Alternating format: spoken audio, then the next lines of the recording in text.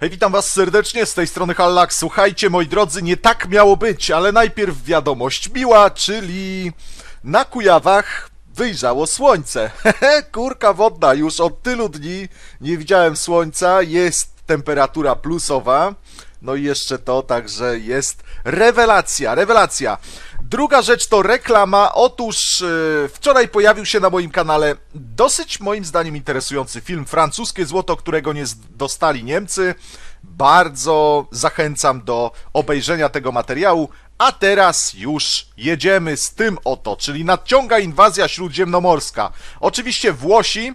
Na pytanie, czy pierwsi będą Polacy, czy pierwsi będą Włosi, Wargaming nabiera wody w usta. Zadałem pytanie to ra rano.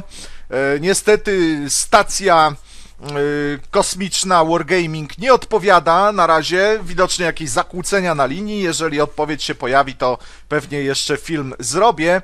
Natomiast to, że Włosi wejdą, no to już od jakiegoś czasu wiadomo, pojawił się ten film Dzienniki Twórców, który właściwie nie wyjaśnił zbyt dużo, ponieważ z jednej strony gość na filmie mówi, że polskie czołgi muszą szybko wejść, ponieważ już y, od jakiegoś czasu mamy premkę polską w, mm, no, w grze.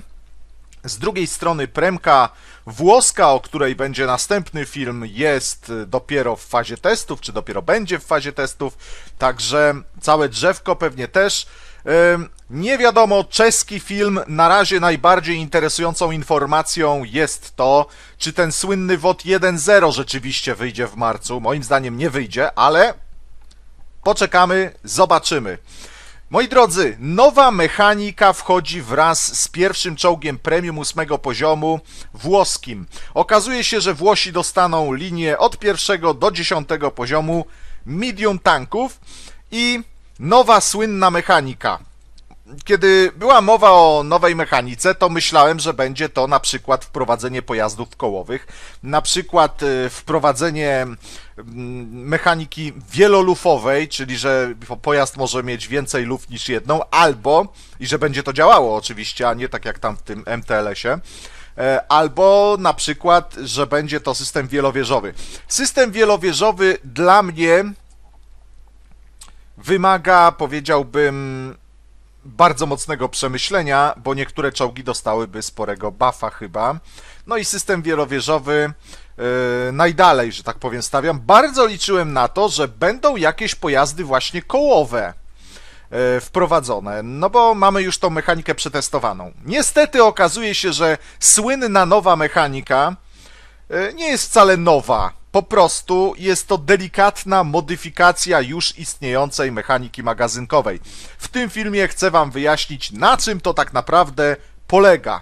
Otóż, obecnie mamy sytuację taką, że albo mamy działo jednostrzałowe, powiedzmy, strzelamy, przeładowuje nam się, strzelamy, przeładowuje, albo mamy działo z tak zwanym, powiedzmy, magazynkiem, czy też automatem, jak zwał, tak zwał, i strzelamy po prostu ileś tam tych pocisków, a później długo nam się cały magazynek przeładowuje. Odstępy pomiędzy pociskami w jednej serii są równe i zawsze mamy taki sam czas przeładowania tego magazynka całego.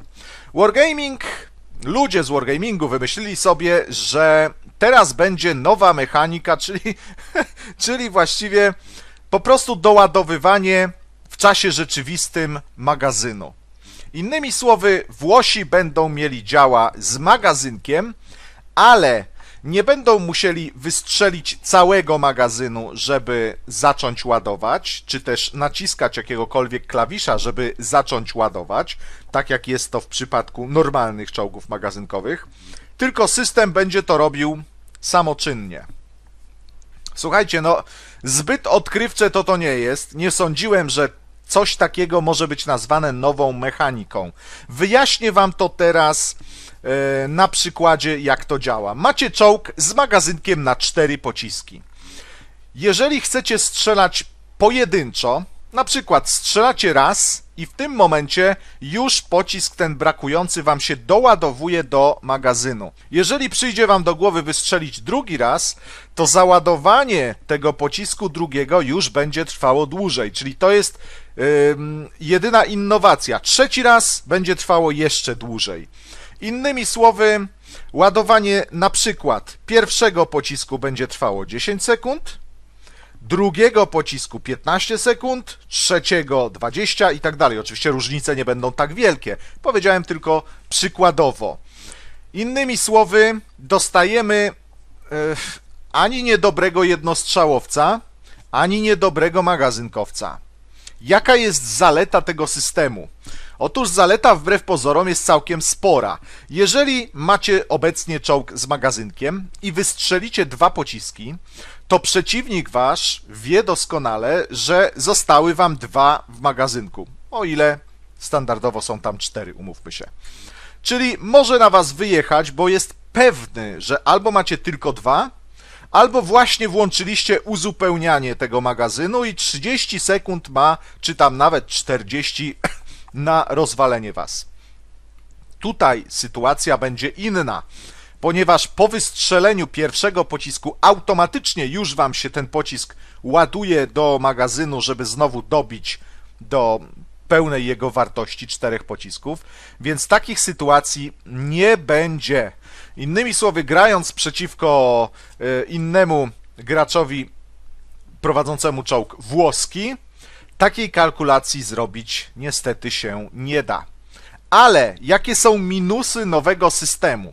Minus jest taki, że jeżeli chcemy strzelać pojedynczymi, pojedynczymi, pojedyn, pojedynczymi yy, pociskami, to będzie ładowanie dłużej trwało niż w normalnym czołgu nieposiadającym magazynka, czyli to jest minus.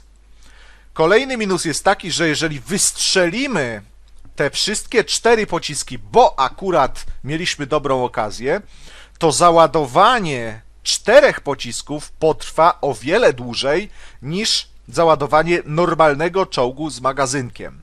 Innymi słowy, dostajemy jedyny plus tej sytuacji taki, że w walce możemy mieć w czasie rzeczywistym doładowywany magazyn i możemy gościa skończyć. Kiedy normalnie na przykład wystrzelimy dwa razy i będą to rykoszety, nie mamy już szans z przeciwnikiem. Tutaj jak najbardziej mamy, bo zanim on do nas się zbliży, to już ten jeden przynajmniej pocisk może nam się do magazynu doładować. I to jest ta wielka mm, kurka wodna, nowa mechanika.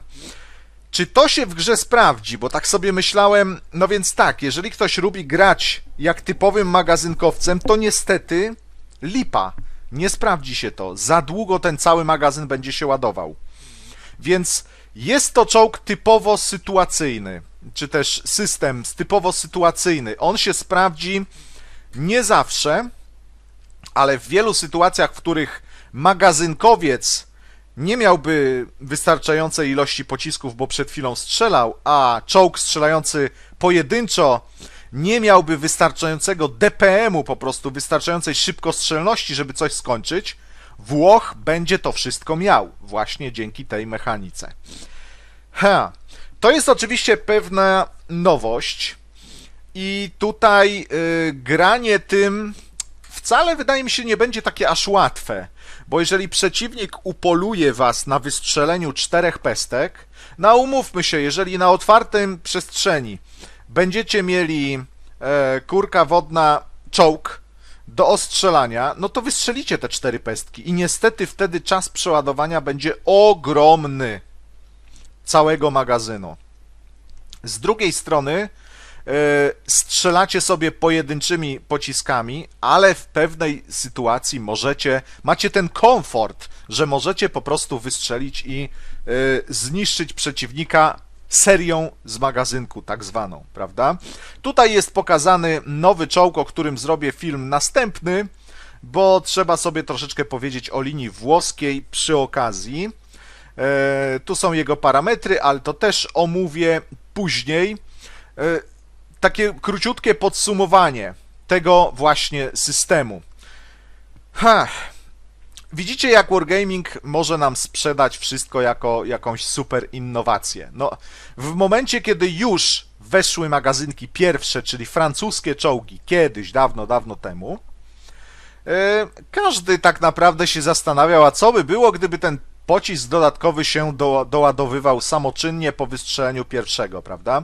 Otóż gdyby tak zrobić w magazynkach, byłyby one, wydaje mi się, OP totalnie e, w sytuacji obecnej, więc WG musiało jakoś to zmodyfikować.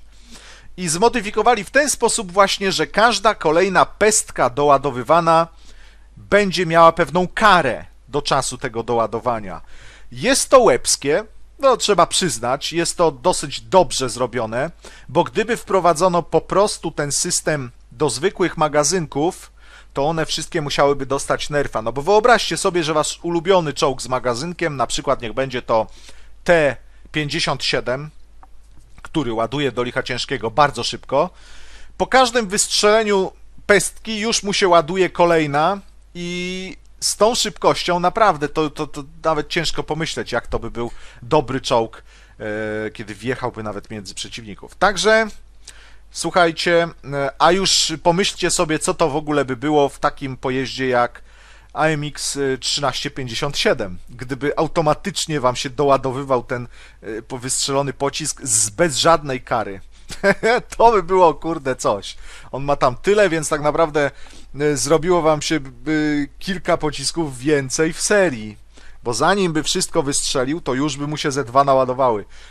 E, dobra, to tyle. Mam nadzieję, że dobrze Wam wyjaśniłem tą e, mechanikę. Tutaj nawet jest taki obrazeczek, gdzie widzicie te pociski i ten się właśnie doładowuje. Czyli ten końcowy pocisk Wam się doładowuje. E, no dobra, to tyle. Żegnam się z Wami. W następnym filmie omówię ten nowy czołg. Do usłyszenia.